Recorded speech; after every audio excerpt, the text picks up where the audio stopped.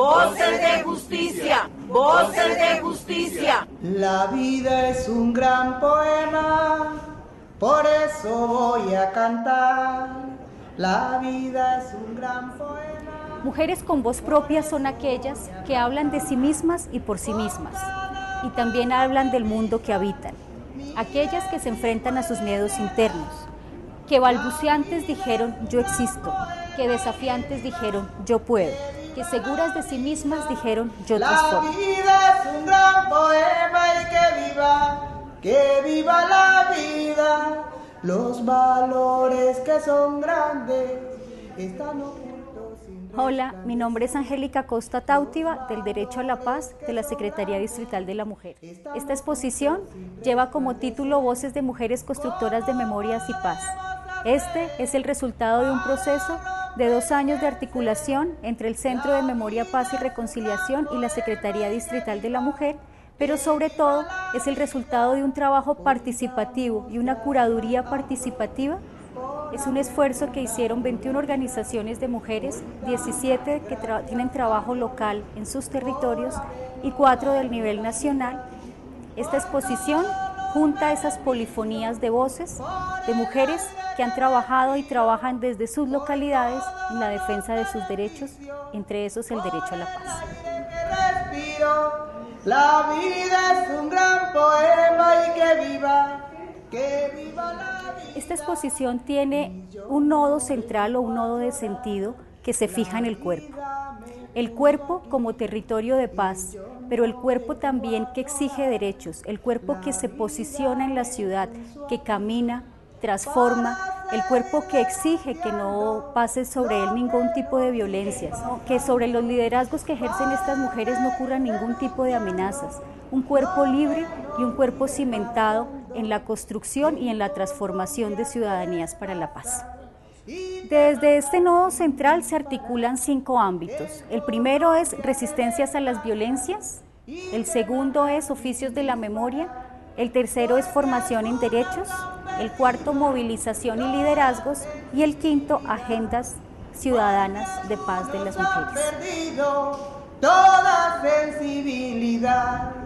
La vida es un gran poema y que viva, que viva la vida, no más violencia. Yo se los Como el nodo de sentido es el cuerpo, escogimos la reproducción de un mural que hizo una de las organizaciones que participó de esta exposición que se llama Funda Mujer y que lo hizo en uno de los muros de la localidad. Esta organización realza la libertad del cuerpo femenino. El nodo de la exposición recoge esa libertad y recoge el cuerpo como ese territorio desde donde se construye la paz, ese territorio desde donde se exigen los derechos, Este mural, eh, ¿qué quiso mostrar? Primero, eh, de una u otra manera, posicionar cómo ha venido evolucionando eh, la mujer y se muestra de esta manera porque para nosotras las mujeres el, el cuerpo es un territorio de paz, debe ser un territorio de paz. Ninguno puede agredirnos a- en nuestro cuerpo. Igual unas voces, unas bocas que nacen eh, primero cerradas y que con el transcurrir del tiempo y del empoderamiento de las mujeres, pues se van abriendo. Se van abriendo, ¿por qué? Porque ya empieza a protestar, empieza a reclamar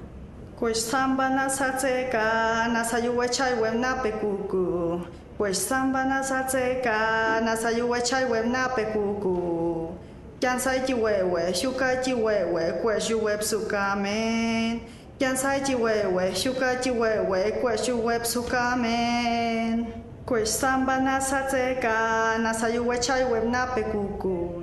we nasateka, nasayuwe chaiwe nape kuku. Kansi chiwewe, shuka chiwewe, kweshu websuka men. Desde este cuerpo político y emocional, la exposición desprende varios ámbitos. El primero es resistencias a las violencias, que habla de todos los trabajos que distintas organizaciones de mujeres han puesto en práctica para reconstruir la memoria como una forma de denuncia y transformación de estas violencias. La Red Colombiana hace parte de la exposición Voces de Mujeres Constructoras de Memorias y Paz, eh, trayendo uno de sus logros que ha sido el programa Ni Reinas ni Cenicientas.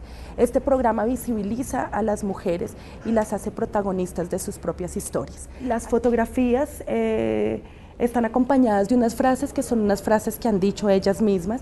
Estas frases reflejan sus vidas y, pues lo que han logrado eh, o sus sueños. Eh, y en últimas, los derechos de las mujeres. Eh, también está acompañado de un reel que tiene fragmentos del programa Ni Reinas ni Cenicientas, precisamente con estas historias y con, estas, con esta reivindicación de los derechos de las mujeres. Yo estoy exhibiendo esta, la camiseta de mi hija, es como para visibilizar todo lo que está pasando eh, en nuestro país con, con, toda la violencia sexual y, y, y todo lo que han hecho con todas las mujeres aquí en nuestro país. Ante todo, que ella fue una víctima de violencia sexual, fue desaparecida y torturada en La Guajira por los paramilitares, de Jorge 40, el que está extraditado en Estados Unidos. Bueno, el libro lo creamos en el primer año del aniversario de su muerte, del feminicidio.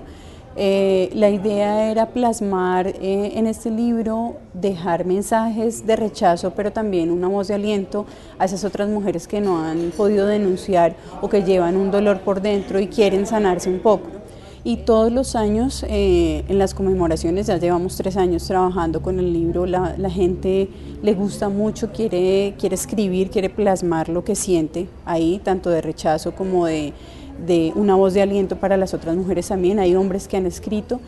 También lo hemos llevado donde hemos hecho trabajo de, de sensibilización pedagógico eh, con otro libro que se escribió eh, con el nombre de ella, Em, y también hombres, mujeres, hemos llevado el, libro a colegios eh, y organizaciones de mujeres, donde allí también han querido poner su, su mensaje. Y las mujeres eh, no solamente escriben, sino a veces se ponen a leer lo que otras mujeres han escrito. Y eso nos ha parecido muy interesante porque creo que es una parte de la memoria, cuando uno escribe y cuando deja plasmado y otros leen lo que, lo que los demás han escrito, es una forma de hacer memoria también y pues aún más que con los derechos de las mujeres y con estos, este tipo de casos.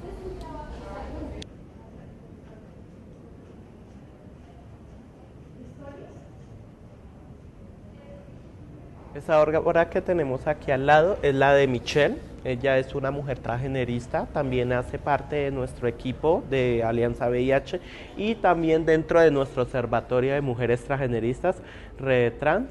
Este tema de, de Michelle es un tema demasiado fuerte para la sociedad, pero demasiado importante también el tener que resaltar este tipo de imágenes y también que se demuestre también tipo, este tipo de ponencias y posturas hacia la mujer transgenerista. ¿Por qué? Porque el tener que ser discriminadas, rechazadas por llevar una construcción de género diferente y fuera de eso, la situación en que tienen que enfrentarse a la vida al ver que son totalmente segregadas por la sociedad y tienen que recurrir a otros medios socioeconómicos en el cual se tengan que sustentar como la prostitución o el trabajo que no es tampoco estigmatizante el trabajo de la belleza.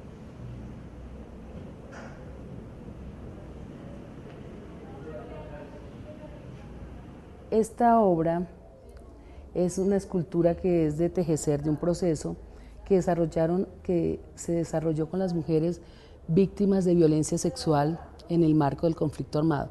Estas dos obras, tanto este tejido como esta muñeca, en su proceso de elaboración, las mujeres se van empoderando frente al tema de sus derechos. Realmente este fue un proceso eh, terapéutico, pero también de empoderamiento para que las mujeres realmente se sintieran fuertes y se sintieran eh, con toda la el derecho de confrontar a sus victimarios en los espacios judiciales. El sol no brilla,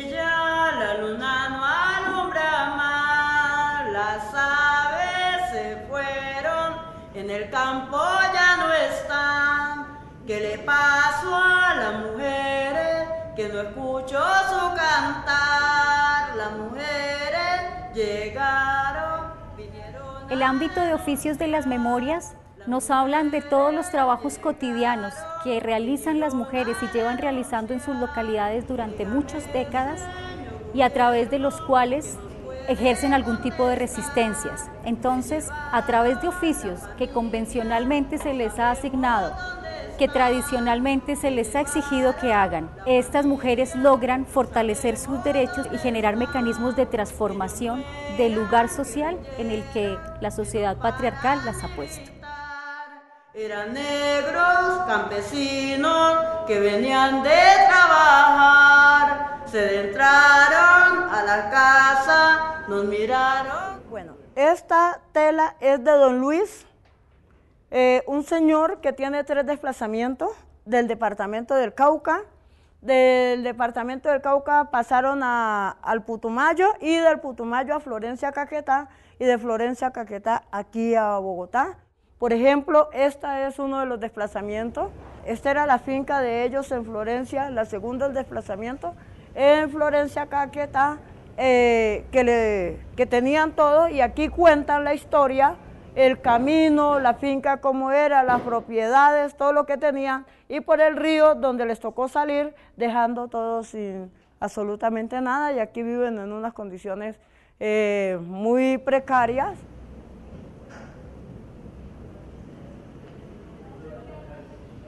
Eh, me vinculé a los oficios de la memoria a través del mismo desplazamiento forzado que nos llevó a esta ciudad de Bogotá a radicarnos. Y cuando llegamos acá eh, nos dimos cuenta de la importancia de la lucha de nuestros derechos.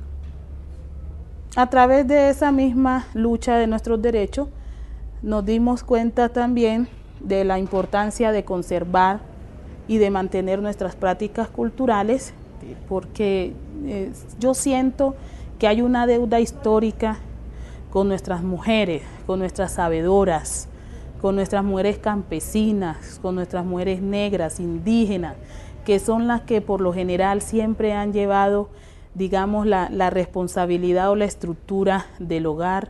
Y en el caso de nuestra comunidad afro, la mayoría de nuestras sabedoras en los territorios son mujeres muy completas que saben de todo, de medicina natural, que son mujeres que, saben de todo el cuidado de, del niño, que saben de la gastronomía, son mujeres muy completas, pero han sido invisibilizadas de pronto por el, machismo. Entonces es la forma también de resaltar ese conocimiento que nuestras sabedoras nos han, nos han dejado y han aportado también al patrimonio cultural colombiano, que es nuestra comida. Y a través de esta nos incorporamos a los oficios de la memoria.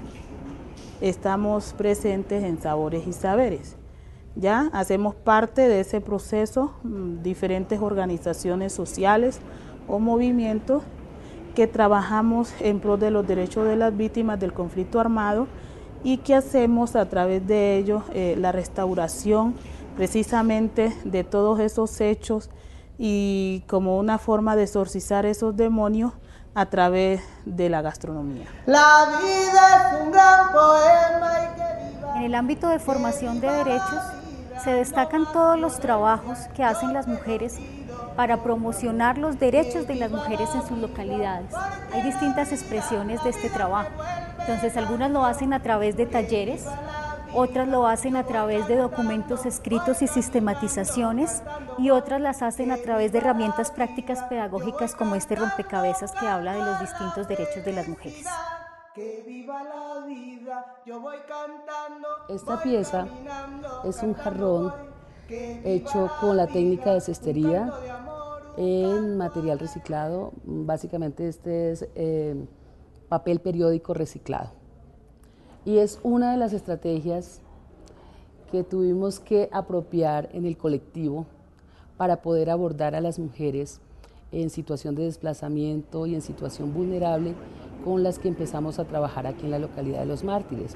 Sucede que el costurero de los derechos nace a partir de una necesidad estratégica de nosotras como organización poder llegar a las mujeres con toda la información de sus derechos, las rutas de atención para prevenir y atender violencias y sobre todo para generar esos lazos, esas redes de mujeres de comunidad en donde fuera a la práctica la construcción cotidiana de la paz. Entonces surgió el costurero de los derechos para, eh, con esta estrategia de hacer un proceso, digamos, de alguna manera productivo, ellas fuesen apropiando estas herramientas y esta información acerca de sus derechos y de todas las rutas de atención para el tema de violencias y obviamente generar unos lazos entre ellas que estaban en una comunidad para que obviamente en ese microterritorio empezáramos a hablar de la construcción de paz desde las mujeres. Bueno, la obra que tenemos atrás se llama Mi mamá no trabaja. Eh, ¿Por qué? Porque por lo general las mujeres eh, trabajamos pero en la casa y esto no es, como no es remunerado, no es reconocido. Entonces uno a veces le pregunta a los niños, es más, inclusive a las mismas mujeres, uno le pregunta a un niño, ¿su mamá qué hace? Nada. Cuando hemos tenido la oportunidad de trabajar con grupos de mujeres, uno les pregunta, bueno, ¿y usted qué hace? Y ellas mismas dicen, nada. Entonces quisimos eh, hacer un reconocimiento al trabajo que hacemos las mujeres todos los días, cotidianamente en nuestra casa, y cómo las mujeres, para que, cómo las mujeres aportamos a la economía de este país.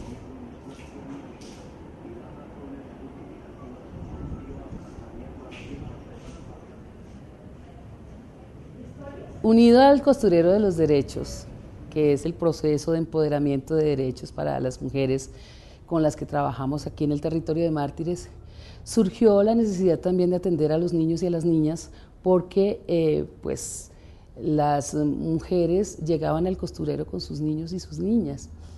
Entonces surgió la necesidad de atender a los niños y a las niñas.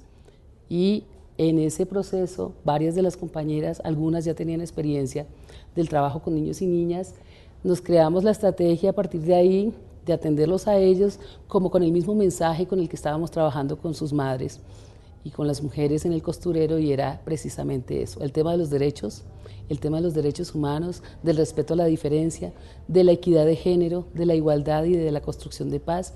Y empezamos un proceso muy bonito con ellos y con las niñas y los niños que se llamó y que le pusimos un nombre que nos parece lindísimo, que se llama Ciudadanitos y Ciudadanitas para la Paz.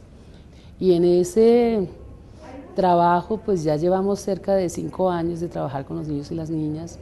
Han pasado varios niños de la localidad, varias niñas. El proceso realmente se ha, mantenido cerca de 82 niños y niñas permanentes y han crecido mucho en ese espacio porque realmente vemos resultados como que ya realmente se lo apropian, no solamente es un discurso eh, de llevar al colegio para presentar la tarea o para hablar por televisión o para venir a un espacio aquí y, y, mostrar de que saben una tarea o una lección de derechos humanos o de construcción de paz, sino que realmente se ha venido haciendo un ejercicio de que lo apropien y lo practiquen realmente en su territorio, que son realmente barrios en donde se requiere fortalecer todo este tema para los niños y las niñas.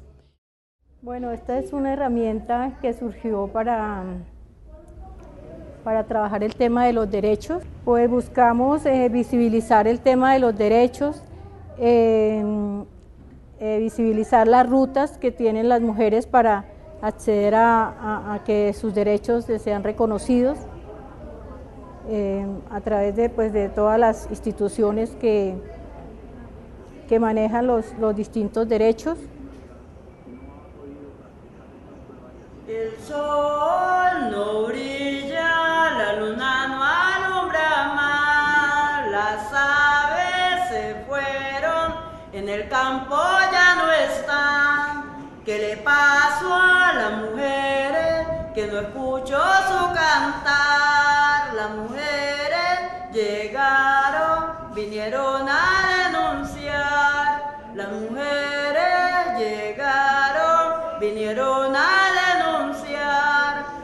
Señor gobierno, que nos puede contestar. Se llevaron la familia, no sabemos dónde están. Se llevaron la familia, no sabemos dónde están.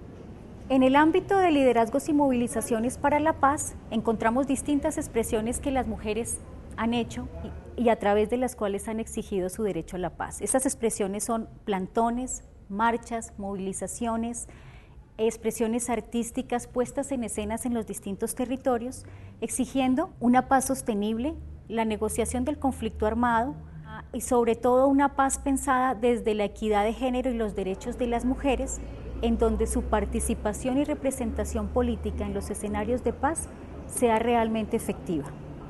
En este ámbito entonces encontramos distintas expresiones. Una de esas son los carnavales populares por la vida, que ha venido haciendo el Centro de Promoción y Cultura de Britalia Kennedy, el Festival por la Vida de la Asociación de Mujeres y Madres Abriendo Caminos en la localidad de Santa Fe y otras marchas, plantones y movilizaciones que han sido importantes o hitos históricos dentro de la construcción de la paz a nivel nacional, como es las marchas de la Ruta Pacífica, como fueron la marcha del 2002 de las Mujeres Pasarán o Mujeres Pasaremos, en las que se juntaron distintas organizaciones de mujeres, como Iniciativa de Mujeres Colombianas por la Paz, la Organización Femenina Popular, la Ruta Pacífica, eh, la Mujeres Actoras, Autoras y Actoras de Paz y la Mesa de Concertación de Mujeres.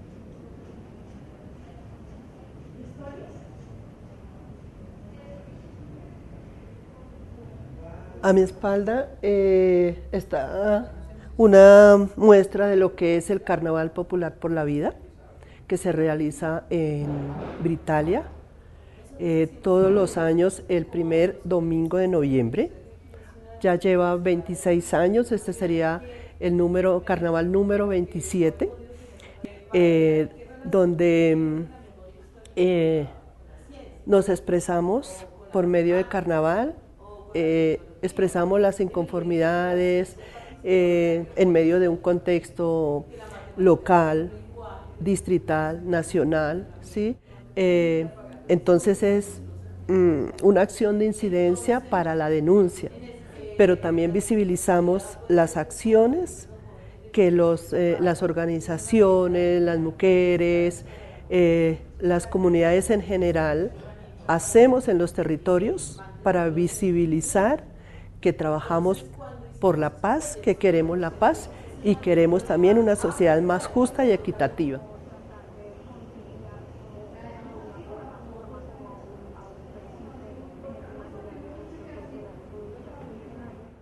Este es un pájaro sirirí. Este pájaro representa precisamente la operación sirirí que desde IMP, desde la alianza IMP, con Marlene Orjuela de eh, Asfamipaz, em, tuvo todo un proceso a nivel nacional para reclamar y exigir los acuerdos humanitarios.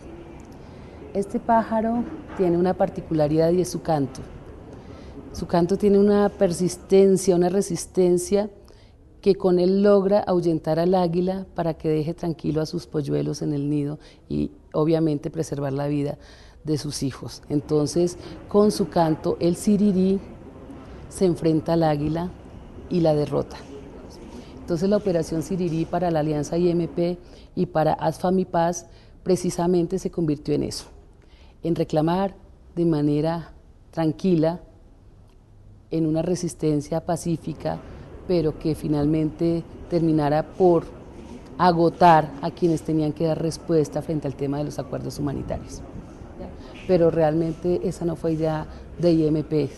Nosotros retomamos realmente la idea de la señora Fabiola Lalinde, que durante 12 años estuvo en Operación Sirirí para reclamar que apareciera el cuerpo de su hijo. Eh, las camisetas es la línea del tiempo que hemos transcurrido las mujeres en todo el país, porque aquí está la ruta, la ruta pacífica representada la despenalización del aborto, los compañeros de despenalización del aborto, la paz es un camino representando a las mujeres que fueron víctimas del conflicto armado, violencia, qué violencia tan macha. La paz con las mujeres sí va, eso fue una marcha que hicimos por toda la 26, más de 600 mujeres porque llegaron de todo el país. Que viva la vida porque la vida, la vida es vida, señores.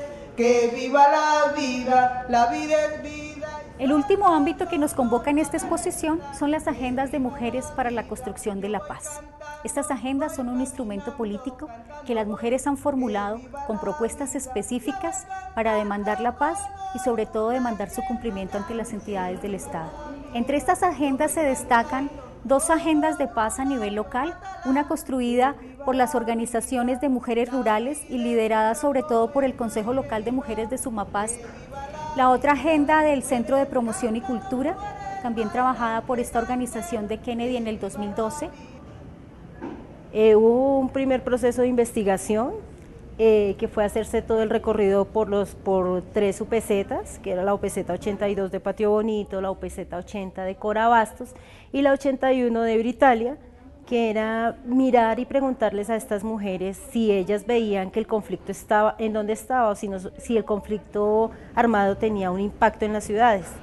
Eh, y pues después de varias, de hacer una encuesta en donde hay un documento que ellas no visibilizan el conflicto armado, sino que lo ven más allá, en el monte y no lo ven en las vidas, en la cotidianidad, empezamos a hacer tres encuentros de espacios de reflexión y empezamos a mirar pues qué tanto eh, impacta el conflicto armado eh, a las mujeres.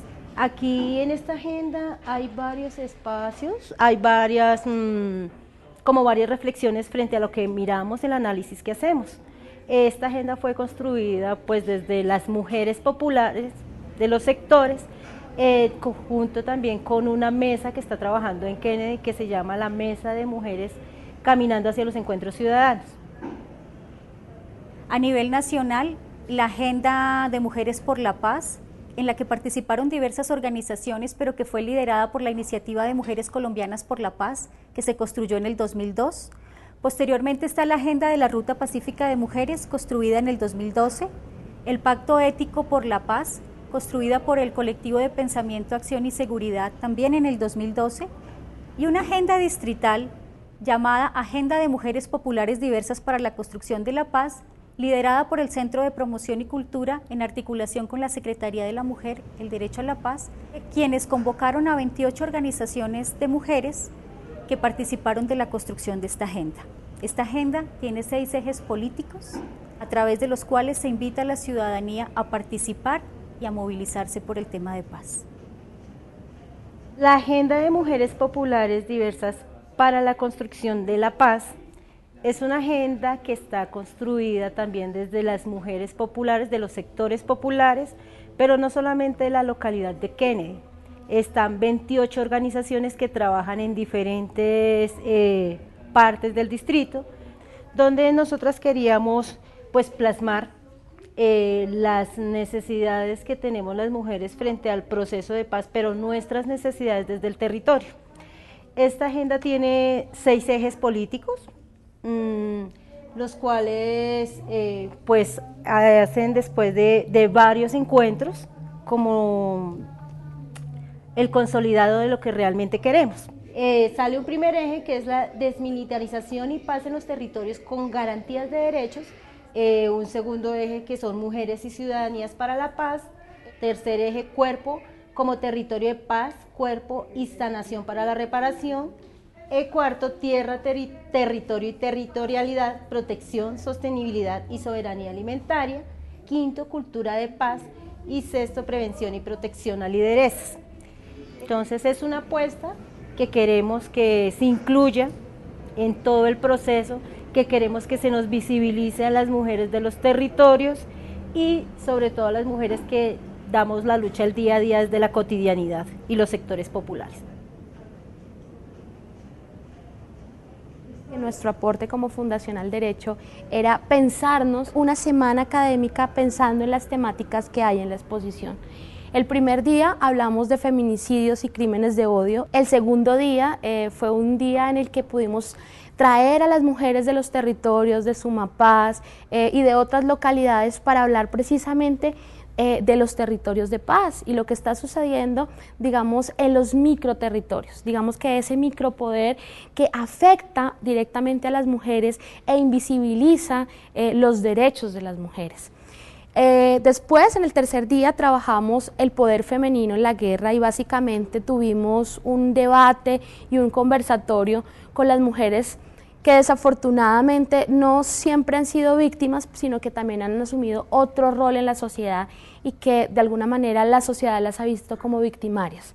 Mujeres excombatientes estuvieron aquí precisamente en esta exposición debatiendo, contando sus historias de vida, contando sus momentos y sus contextos eh, sociopolíticos, pero ante todo contando las realidades que han sido invisibles en, esos roles que las mujeres hemos asumido durante la historia. Mujeres con voz propia son aquellas que hablan de sí mismas y por sí mismas, y también hablan del mundo que habitan.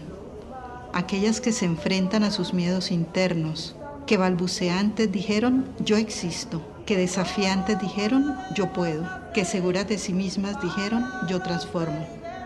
Ellas existen, pueden y transforman. Las mujeres con voz propia hablan con sus cuerpos, hablan con sus palabras, con acciones, hablan escribiendo y hablan movilizándose. Hablan en las casas, en las plazas, en las calles, en las iglesias, en el trabajo, en los medios de comunicación, en los movimientos y en las instituciones. La palabra de las mujeres con voz propia susurra y grita, narra, canta y acaricia aconseja, consuela y construye, exige, reclama y demanda, explica, teoriza y critica. La palabra de las mujeres con voz propia resuena y se amplía en coro polifónico de voces, anunciando el fin de una era de dominación depredadora y violenta y proclamando el advenimiento de otro mundo posible. Para seguir denunciando lo que nos sigue pasando para seguir denunciando lo que nos sigue pasando. En Colombia te desplazan y te matan sin disparar. En Colombia te desplazan y te matan sin disparar. Porque algunos han perdido toda sensibilidad porque algunos han perdido toda sensibilidad. La vida es un gran poema y que viva, que viva la vida, no más violencia. Yo se los pido, por favor, que viva la vida, porque la vida, la vida se vuelve canción que viva la vida. Yo voy cantando, voy caminando, cantando voy, que viva la vida. Yo voy cantando, canto a la felicidad. Que viva la vida, yo voy cantando, voy caminando, cantando voy, que viva la vida, un canto de amor, un canto a la eternidad que viva la vida, porque la vida, la vida es vida, señores. Que viva la vida, la vida es vida y solo Dios nos la debe quitar. Que viva la vida, yo voy cantando, voy caminando, cantando voy. Que viva la vida, yo voy cantando con orula y Yemaya. Que viva la vida, yo voy cantando con orula Que viva la vida. La vida es un gran poema y que viva, que viva la vida. Las mujeres cantan, las mujeres bailan, que canten, que viva la vida. Los niños cantan, las niñas bailan, que canten que viva la vida, porque la vida, la vida es amor, la vida es canción, que viva la vida, la vida es vida y solo Dios nos la debe quitar, que viva la vida, un canto por la vida, un canto por el amor, un canto por la paz, que viva la vida. La vida es un gran poema y que viva.